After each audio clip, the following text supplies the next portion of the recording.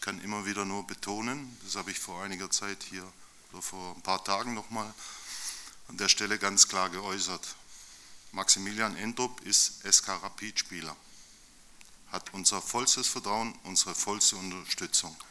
Alles andere brauche ich nicht zu kommentieren. Der weiß das, der Junge. Ich habe mit ihm nochmal ein Gespräch geführt und ich glaube nicht nur äh, von Vereinsseite, sondern insbesondere, Stefan kann das bestätigen, innerhalb der Mannschaft und auch vom Trainerteam vollste Rückendeckung. Und er hat mir nochmal betont, ganz deutlich, er will hier spielen, er will hier erfolgreich spielen, er will guten Fußball zeigen. Das ist das Einzige, was für mich zählt.